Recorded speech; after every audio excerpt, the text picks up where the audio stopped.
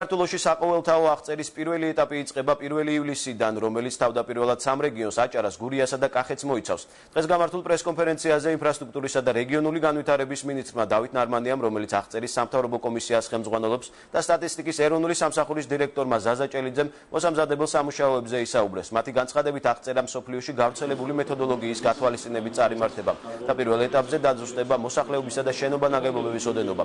საყოველთაო აღწერა რამდენიმე ეტაპად განხორციელდება.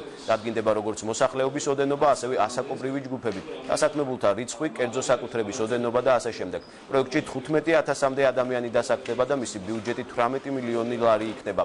პირველი პირველი შედეგები 2015 წლის გაზაფხულზე გახდება ცნობილი.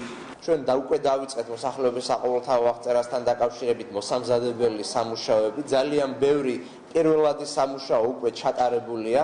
1 ივლისიდან იწყება მოსახლეობის საყოველთაო აღწერის ერთ-ერთი ეტაპი, რაც გულისხმობს წინამოსამზადებელ აღწერას.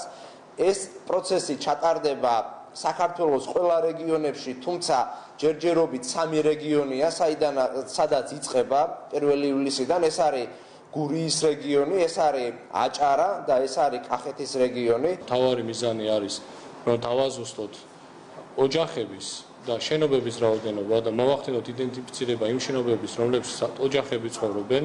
შესაბამისად, ივლისის მეორე ნახევრიდან 15 ივლისიდან ჩვენ დავიწყებთ უკვე კახეთის რეგიონში შემოვლას, ფაქტობრივად მთელი ივლისის განმავლობაში აჭარაში, გურიაში და კახეთში ივლიან ჩვენი რეგისტრატორები და ინტერიერები იმისთვის, რომ ძალიან მარტივად გავიგოთ, რამდენი ვართ, რამდენი არის საქართველოს მოსახლეობა. ძალიან მნიშვნელოვანი არის თითოეული ოჯახის მხრიდან თანამშრომლობა სტატისტიკის სამსახურის მიმართ. შესაბამისად, ყველა ჩვენი ინტერიერი ადგილზე თითოეულ ოჯახის წევრ ჩაუტარებენ შესაბამის ინსტრუქციას.